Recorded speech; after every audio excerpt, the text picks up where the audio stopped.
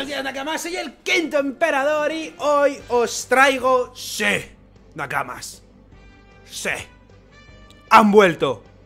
Un mes he tardado Pero han vuelto. Hoy Nakamas os traigo un... PIR ¿Qué Nakamas? ¿Cómo lo lleváis? Esta semanita sin capítulo está siendo dura, ¿verdad? Y eso que solo estamos a martes. Pero no os preocupéis, Nakamas, como os prometí en la pestaña de comunidad de YouTube, el Tito Quinto va a traer contenido para dar y regalar, tanto en los directitos del YouTube morado como aquí. Nakamas, el Tito Quinto va a hacer más amena la espera de One Piece. Joder, y es que encima me cago en la leche, vaya espera. O sea, tras el último capítulo, que si Shanks, que si Kurohige. Joder, pero bueno, Nakamas, hoy traemos un PIR, como bien marca la tradición de este canal, la sección favorita de muchos de vosotros, incluida la mía. ¿Qué intentáis? ¿Por qué tardas un mes en traerla? Son muchas cosas, tío, son muchas cosas, Nakama, lo siento. Para los despistados que no sepáis cómo funcionan los PIR en este canal, es muy sencillo. Vais a este PIR, al último de todos, en este caso, pues pues este, ponéis vuestra preguntita y si hay suerte en el siguiente PIR, pues saldrá. Hoy venimos con cositas interesantes, Nakamas. Obviamente muchas están enfocadas a esta última recta actual, ¿vale? Egghead, Kurohige, Shanks... Es una situación muy intensa, muy peligrosa, que genera mucha intriga. Entonces creo que es normal que la mayoría de preguntas hayan acabado saliendo a raíz de este último capítulo o arco en general. Con lo que no me voy a enrollar mucho más, Nakamas, solamente voy a pediros que, si sois nuevos en el canal, soléis verme habitualmente o lo que sea y no estáis suscritos, tuvierais ese sencillo y gratuito gesto, Nakamas, de ir ahí un poquito más abajo y darle al botoncito de suscripción porque la verdad que no sabéis cuánto ayuda y lo poco que cuesta, de verdad. Así que me haríais un favorcito muy grande. Bien, nuestro Nakama Eloy tiene el honor de empezar el PIR con una preguntita sencilla, suave, para ir calentando un poco los motores. Y dice lo siguiente... ¿Cuál es el barco que más te ha gustado por diseño? Y bueno, la verdad que si algo guay hay en One Piece, son los barcos, precisamente. Es decir, son diseños, pues bueno, muy... que representan bastante normalmente, normalmente, lo que va detrás de cada personaje en cuestión. Y a mí el barco que más me gusta, bueno, no sé si es el que más me gusta, pero uno que le tengo cariño, sin tan siquiera que sea nuestro, ni que sea de una persona buena, ni nada del estilo, es el barco de Eustace Kid. Vaya ironía, ¿verdad? En paz descanse este pobre barco. Es que el Victoria Punk, porque se llama así, no me gusta solamente por el diseño agresivo que tiene, porque desde luego, hombre, pues que haya ahí como el cráneo de un rey marino como mascarón de prueba, pues la verdad que es un tema bastante interesante. Pero no va por ahí la cosa, y es que me gusta muchísimo porque Oda en un SBS dio trasfondo a este barco y es un trasfondo súper bonito. Y es que resulta que tanto Eustace Kid como Killer, en paz descansen, tenían un amor en común. Una chica les gustaba tanto a Kid como a Killer, ¿vale? Y esta mujer se llamaba Victoria. Esta mujer fue asesinada, si no recuerdo mal y no me falla la memoria, por un bandido de la zona del South Blue por la cual vivían tanto Killer como Kid. Y bueno, pues estos dos, aparte de cargarse al bandido eh, por completo, pues, es Kid, decidieron zarpar al mar y en honor a esta mujer, a Victoria, poner el nombre de Victoria Punk al barco. Entonces, sinceramente, que el diseño me gusta bastante y que tiene ese trasfondo especialmente bonito, diría que es uno de los que me quedo. Pero luego hay otros, por ejemplo, el de la Armada Revolucionaria o el de Shanks, que la verdad que me molan bastante también. WR hace la siguiente pregunta y es esta de aquí. ¿Te parece que Sang sea más fuerte que Kaido? Porque a mi parecer lo único que los diferencia es que Sang se toma en serio las cosas. Si Kaido no fuera un borracho suicida y fuese serio, Wano hubiera acabado muy diferente. A ver, yo creo que Kaido en realidad, a pesar de ser un borracho suicida, como, como has comentado, una palabra un poco fea igual para YouTube, pero bueno, por favor no me, no me censures. No considero que Kaido se tome a broma la situación. Una cosa es que sea un borracho y tal, y bueno, pues vaya a los combates borracho, que pues, tampoco es que difiera mucho de eso. Pero Kaido, a la hora de la verdad, se pone serio y se le quitan las tonterías. O sea, se bajó a, Luffy de un Raime Haki que le metió un ostión terrible, y luego en la azotea no está tanteando y haciendo el tonto. Quien considero que hace el tonto e incluso se despista es Big Mom, por ejemplo. Pero Kaido yo creo que va muy en serio. ¿Qué es lo que pasa? Pues que Shanks en realidad es un tío que está al nivel de Kaido, fácilmente, ¿vale? De hecho, yo a Shanks del último capítulo me ha, me ha, dado muchas vibes de Roger, no solo por el ataque, sino esa intensidad con la que va, esa velocidad incluso tal vez más rápida que la del propio Roger. Con lo que creo que sería muy interesante hacer exclusivamente un vídeo sobre este tema, Shanks vs Kaido sacando pues quién va mejor en hakis, tema de Akuma no Mi y no Akuma no Mi, velocidad, inteligencia. Creo que esto es un vídeo que debería de extenderse más. De primeras y sin pensarlo mucho me atrevería a decir que Shanks puede estar por encima de Kaido. Pero tampoco quiero envalentonarme porque es una decisión que hay que tomar a raíz de analizarlo más seriamente y no de intuiciones ni de calentones tras el último capítulo. Kaido hizo muchas cosas que igual Shanks no hubiera llegado a ser capaz de hacer. Se bajó a los vainas rojas, se bajó a Yamato, se bajó a, aquí a todo Cristo y luego ya contra, contra Luffy, después de bajárselo dos veces, ahí sí que ya pues palmó. Pero claro, hay mucha cosa detrás y requiere un análisis más elaborado. Me gustaría, Nakamas, que si te apetece este vídeo, hagas dos cositas. Una, comentar quién crees que ganaría entre Kaido y Shanks, el comentario. Y por otro lado, dar like al vídeo. Si veo que este vídeo tiene más likes de lo normal, esta misma semana o la que viene hago un vídeo Kaido vs Shanks. Sebastián Urrutia continúa el PIR con la siguiente pregunta. Buenas, Quinto, ya era hora del PIR. ¿Crees? Ya te digo, sí, era hora, la verdad. Vamos con la pregunta. ¿Crees que va a morir alguien en el incidente de Head? Y de ser así, ¿quién? Saludos desde Puente Alto, Francia. Saludos desde Puente Bajo. Joder, vaya mierda de chiste. Vamos a la pregunta.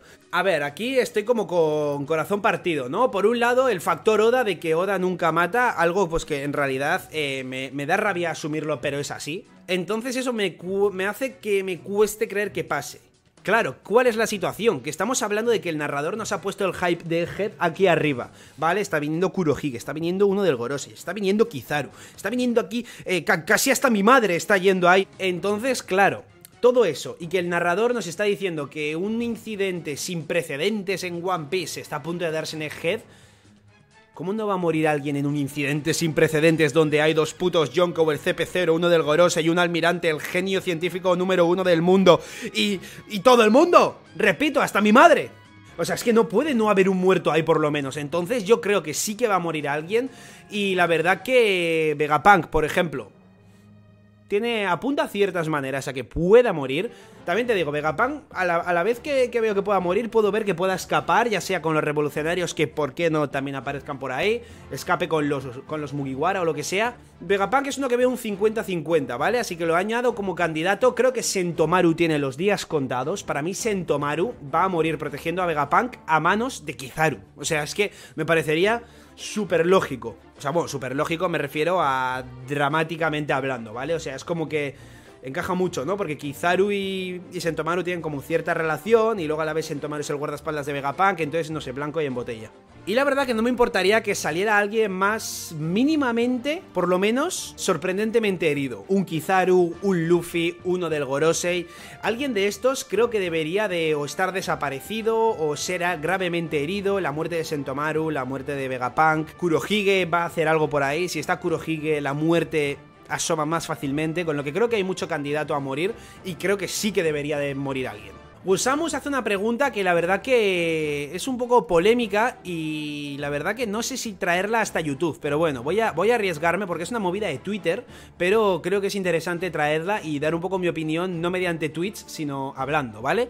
Y es la siguiente, Pir, ¿qué opinas de que el fandom últimamente se está volviendo muy exigente y quejón, al punto de que un foro llamado Pirate King siempre cada semana estén quejándose de cualquier cosa como la narrativa de Oda o cualquier cosa random? A ver, aquí la verdad que creo que lo que es el fan promedio de One Piece no se está quejando especialmente de la obra. Sí que hay gente que está como un poco hateando a fuego One Piece, gente incluso de la comunidad, eso sí que es verdad, pero pero siento un tweet que puse ayer precisamente fue como que siento que ahora está un poco de moda criticar One Piece y criticar al fandom de One Piece, ¿vale? Y a mí eso es algo que no me gusta, porque que me critiquen a mí o que critiquen a One Piece me da igual, One Piece es una obra, puede gustarte o puede no gustarte y ya está, pero que se pero que critiquen al fandom, entiendo que hay parte de fandom tóxica, está claro que sí, es una comunidad muy grande, gilipollas hay en todos los lados. Sin embargo, que de ahí ya empiezan a criticar a todo el fandom, que todo el fandom de One Piece es tóxico, que no sé qué, que no sé qué, los youtubers solo sabemos decir Goda. A mí esas cosas me tocan mucho la polla porque están metiéndose con mis nakamas. Y puede sonar que da bien o puede ser lo que sea, pero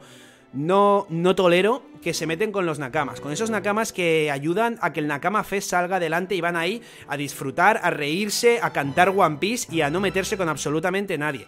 Esa gente que está eh, llevando, yo que sé, mi, mi, marca de ropa, Quinto Clothing por la calle, súper orgulloso de tener un Zoro a la espalda, tío.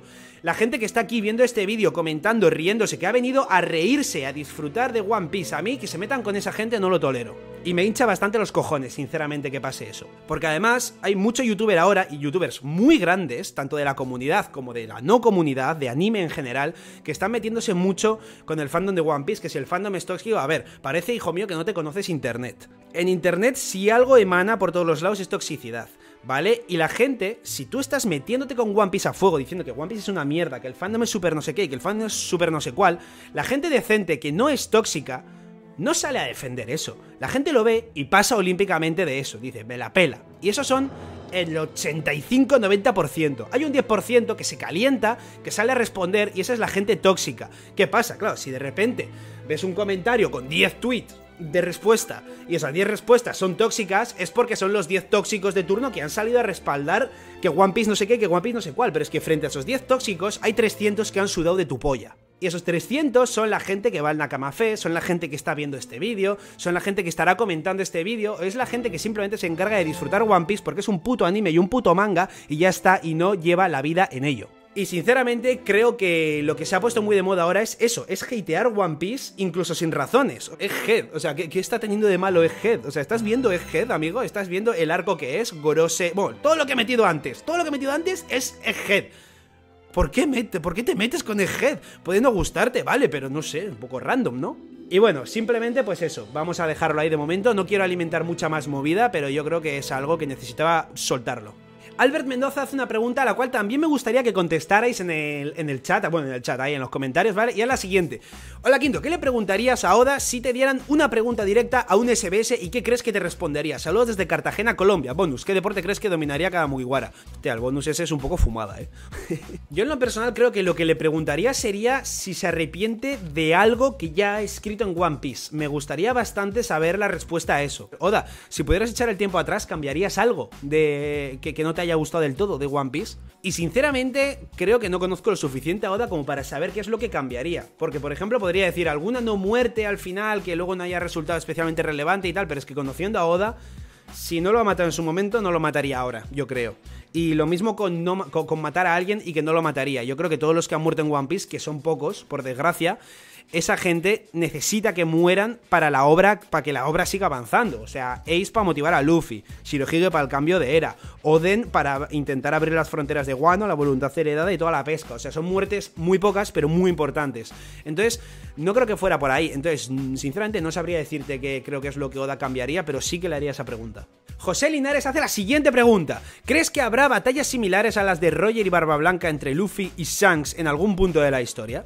Pues sinceramente, eh, yo creo que no va a haber batallas de ese nivel, pero sí que me gustaría ver, aunque sea un choque, ¿vale? Un choque de hackis, que yo creo que Oda en algún momento nos va a deleitar con eso. Sí que me gustaría ver un choque con esa rivalidad, pero buen rollismo, como, como, había en el que tú mencionas, ¿no? El Roger contra Barba Blanca, que se de repente se juntan y lo primero que hacen, en vez de darse la mano o saludarse, es intentar dar una hostia para matar al otro. Pues algo de ese rollo me molaría bastante, sinceramente, y yo creo que por cómo están perfilando a Shanks, que vemos que es un tío súper loco, súper fuerte, súper todo, pero a la vez sigue siendo esa buena persona y sigue siendo el Shanks del capítulo 1, frente a un Luffy, el cual yo creo que de primeras no haría eso, no lo haría, pero que está viendo que Shanks va a hacerlo, entonces Luffy sonreiría y automáticamente iría a darle el golpe para hacer lo mismo. Yo creo que eso puede pasar. Ahora, tanto como batallas de manera frecuente como Roger y Shirohige, eso ya discrepa un poco. Bakox hace una pregunta también interesante, ¿vale? Y es la siguiente. ¿Piensas que Oda va a dejar a Low fuera de combate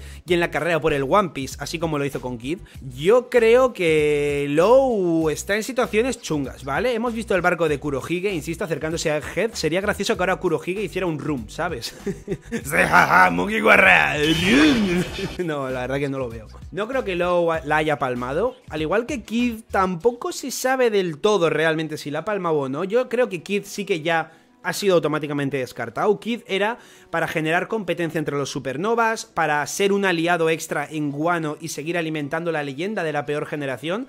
Pero ya, Kid ya eh, su cartucho ya se ha usado. Sin embargo, Low creo que todavía puede haber algún pequeño. alguna pequeña baza a favor suya para que siga en la serie de manera un poco activa. No creo que vaya a ser una lucha por el rey de los piratas, incluso aunque haya ganado a un Yonko junto a Kid. Sin embargo, Low nos ha mostrado que tiene una motivación que tal vez Kid no tenía, y es la de intentar encontrar la historia del siglo vacío, el significado de la D, por qué la D en el apellido, y un poco todo eso. Entonces yo creo que Low todavía tiene tiempo en la serie, a pesar de que ahora mismo puede haber estado en grandes problemas junto a Kurohige. Pero creo que a diferencia de Kid, habrá podido salirse con la suya dentro de lo que cabe, no ganando el combate, porque ganar a Kurohige debe ser misión imposible. Pero sí que de una manera u otra haya conseguido salvarse e intentar, aunque sea un poco más en segundo plano, seguir adelante con su investigación. Y para cerrar el PIR, nuestro querido Dani dice lo siguiente. Buenas, Quinto, ¿crees que el incidente de Egghead será algo más importante para la historia de One Piece, incluso mejor que Marineford? Saludos desde Perú. Saludos, Nakama. A ver, yo creo que van a ser cosas diferentes, ¿vale? Una cosa es una guerra y otra cosa es un incidente. Que, que en Egghead se vaya a dar una batalla puede ser sin ningún problema, ¿no? Dos Yonko, Marina, Gobierno Mundial. Eh, sin embargo, la guerra de Marineford es un incidente, pero no está catalogado como tal, ¿vale? La guerra yo creo que es algo más importante a nivel de cambio de era, porque la guerra de Marineford fue el punto de inflexión de todo el mundo de One Piece. Y si no hubiera dado esa guerra, a día de hoy Shirohige seguiría vivo, seguiría siendo un poco como el rey del mundo dentro de lo que cabe del mundo de la piratería. Tal vez Kaido y Big Mom estarían todavía un pelín más en segundo plano, como lo estaban cuando estaba Shirohige. Entonces no ha habido esos cambios que han hecho pues que Kurohige entre como Yonkou, que Luffy entre ahora también como Yonkou, incluso Baggy.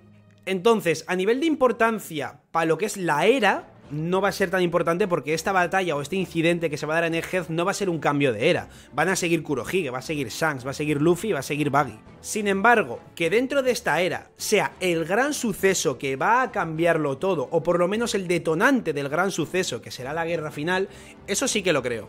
Con lo que importancia a nivel de Marineford, pues es que es difícil catalogarlo, porque yo creo que son importancias diferentes. Una es un cambio de era y otra es dentro de esta era el mayor boom que va a haber. Y nada más, hasta aquí llegaría este videito, el cual espero que hayáis disfrutado, que ya hacía tiempo que no traíamos un PIR, y la verdad que bueno, que hay que empezar a traerlo un poco más, tenéis razón. Así que a ver si la semana que viene consigo traer otro y no me enrollo con Rincón del Nakama, con debate, con review, con reacción. Por lo demás, Nakamas, como os he dicho antes, si os ha gustado el videito, me encantaría pediros un like, que pusieras por ahí vuestra preguntita, vuestra opinión a lo que os he preguntado antes, y sobre todísimo, que no se os escape Nakamas, suscribiros si todavía no lo estáis. Toca disfrutar de esta semanita de vídeos y de directos a pesar de que no haya capítulo de One Piece. Os espero en mi barco Nakamas tanto aquí como en el YouTube morado. Y nada más, un saludo Nakamas y hasta mi próximo vídeo.